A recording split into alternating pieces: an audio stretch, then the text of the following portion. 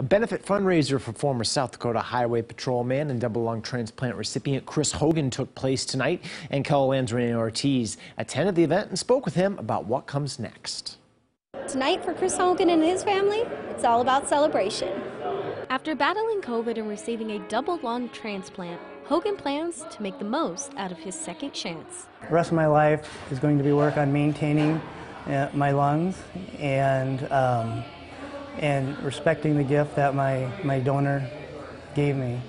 Um, I got the gift of life from, from them, and I want to make sure that I take care of that.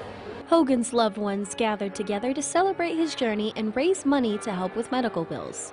Every dime that is raised this evening, all the donors that come together, it's, it's for Chris's future. The event included a raffle and live music.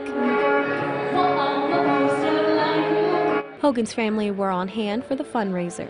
I think the biggest thing is just being there for him through the whole process and trying to stay strong for him so he had something to lean on.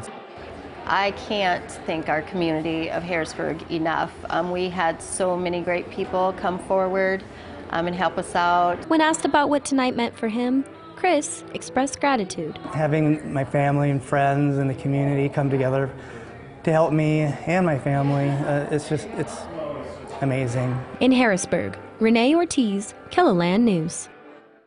Chris is also advocating for people to become organ donors that someone else may get the second chance he received.